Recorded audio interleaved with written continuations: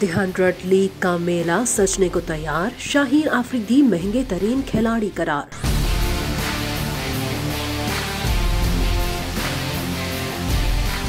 जी हाँ व्यूअर्स पाकिस्तान के कई नामवर खिलाड़ी English cricket league the hundred का हिस्सा बन गए हैं। Star fast bowler Shaheen Afridi drafting में पाकिस्तान के महँगे तरीन खिलाड़ी बनकर सामने आए।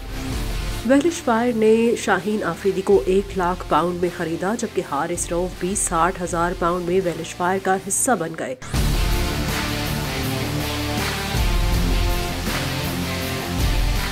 पाकिस्तानी टी ट्वेंटी टीम के कैप्टन शादाब खान को बर्मिंगम फिनिक्स ने एक लाख पाउंड में रिटेन किया, जबकि नौजवान फास्ट बॉलर एहसानुल्लाह चालीस हज़ार पाउंड में ओवल इन्विंसिबल्स के कैंप में शामिल हो गए।